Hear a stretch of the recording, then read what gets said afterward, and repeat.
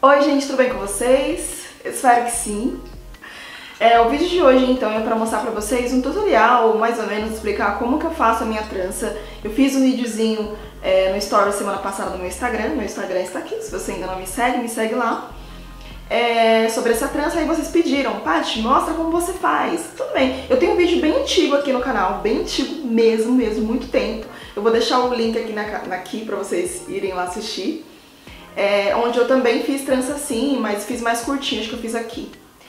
E aí, é, tentei mostrar pra vocês de uma forma mais fácil possível de como eu faço, tá bom? É um vídeo bem rapidinho, só pra explicar como eu faço mesmo.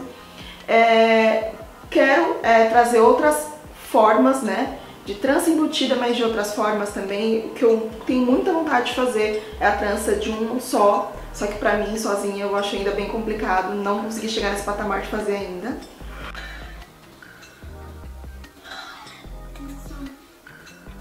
E é isso, gente. É, já sei que vocês vão perguntar também, vídeo dessa maquiagem vai ser um vídeo que também vai sair logo em seguida desse, ou antes desse, ainda não sei, mas vai sair muito próximo do dia do outro. Então fiquem ligadinhas aqui no canal que essa maquiagem tá babadeira, tá bom? Então é isso, o vídeo tá muito rápido. Por favor, assistam até o final, ok? Super beijo, fiquem aí com o vídeo. Bom, gente, então vamos lá. Vou começar a mostrar pra vocês como é que eu faço pra trançar, tá bom? É, minha preparação, o que, que eu faço no meu cabelo? Só lavei, shampoo, condicionador, não fiz hidratação, mas se você fizer não tem problema, só pra finalizar, tá? Pra finalizar meu cabelo com creme, aquele tanto de creme que eu costumo passar, eu não finalizei, tá? Porque o cabelo vai ficar pesado, vai ficar com muito creme ali.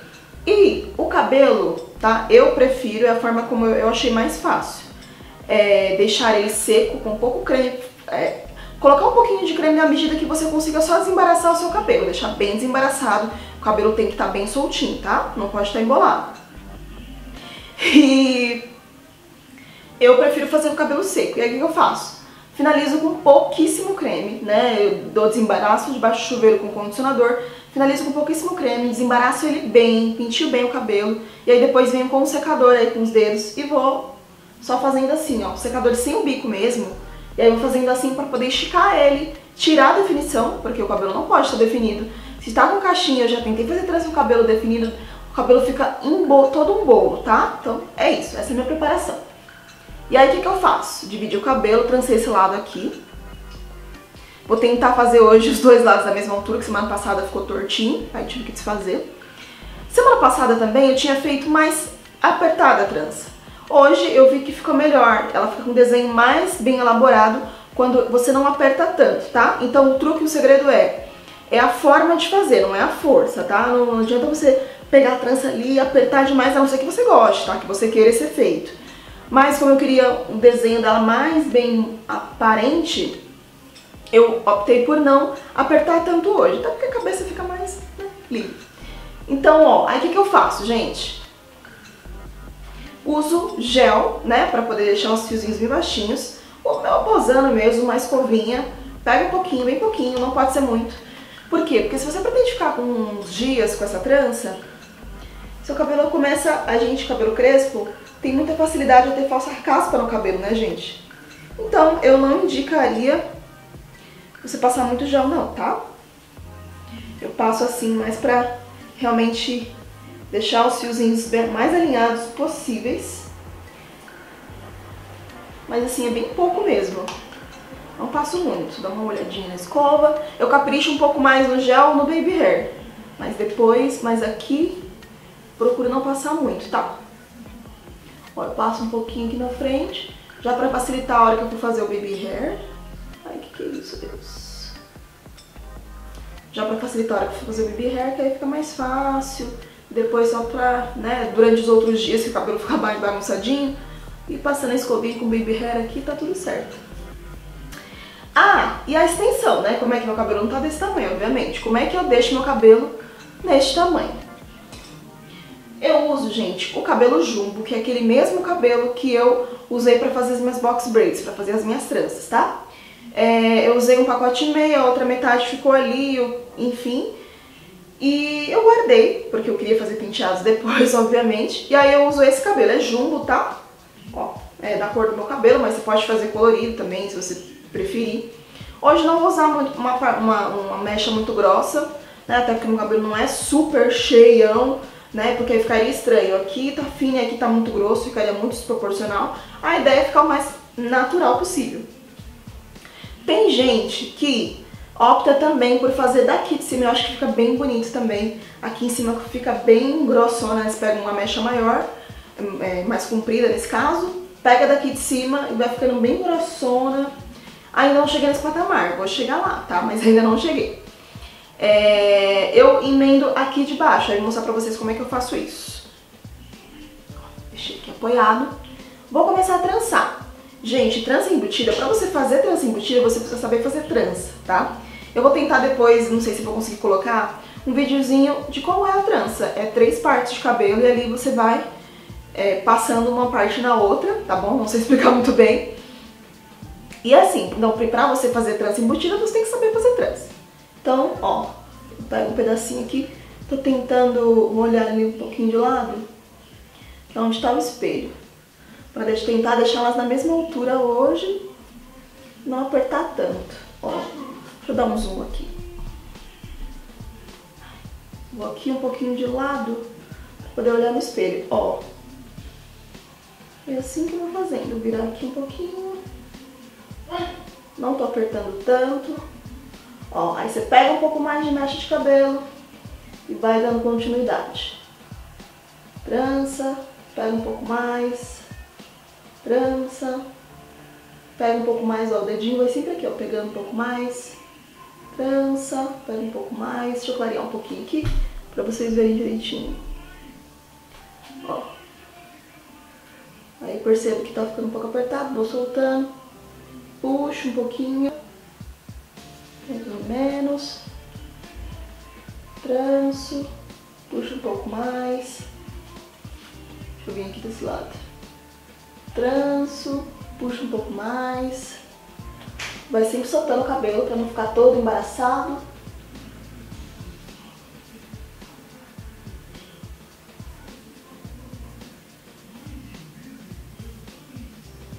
Ó, aí vem aqui, vou chegando aqui, já vou arrumando a parte que eu vou precisar pegar. Ó. Aí eu vou puxando aqui, ó. Vai puxando. Que é isso que vai fazendo o desenho também, né, gente? Na, na cabeça.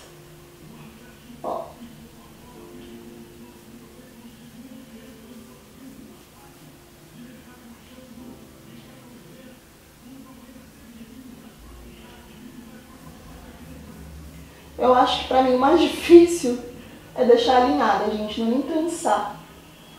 Porque para fazer embutido, sabendo trançar você vai com a prática, né, cada vez melhorando. Mas deixar do mesmo tamanho, altura, eu tenho sério problema. Ó. E essa é a facilidade, seu cabelo tá desembaraçado, é que meu cabelo, né, cabelo crespo, ele embaraça muito rápido, muito fácil. Ó, tá desembaraçado, não tá definido, é muito mais fácil, gente. Que eu já tentei fazer trança com ele definido e foi bem difícil. Deixa eu ver. É, hoje parece que não ficou tão torta não. Vamos ver a hora que acabar. Ó, vem aqui, vem aqui vai trançando, ó.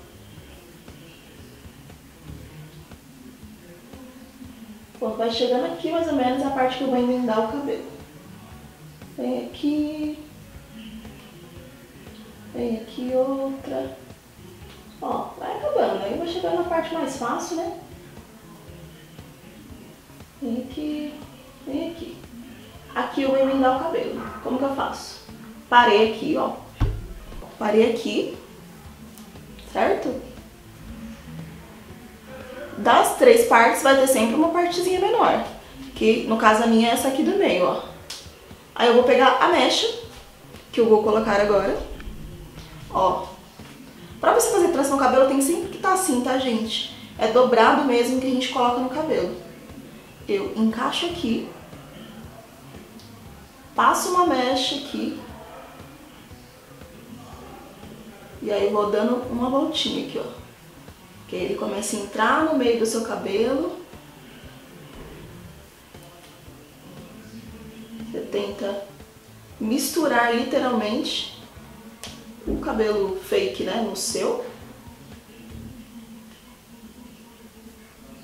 Ó, e vai pensando.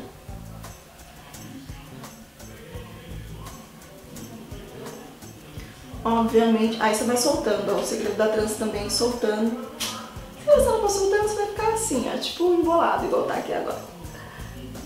Soltando.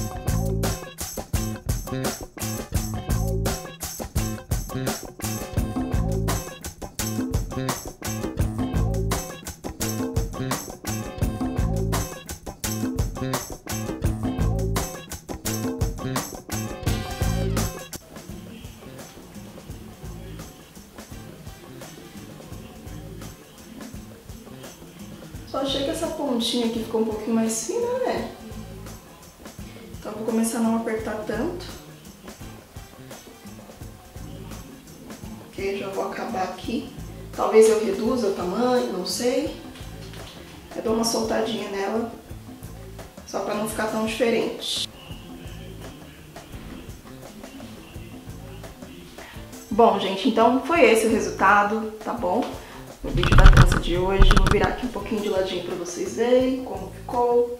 Não ficou a perfeição de trança. Hoje ficou bem levinha, fiz bem mais fina do que geralmente costumo fazer.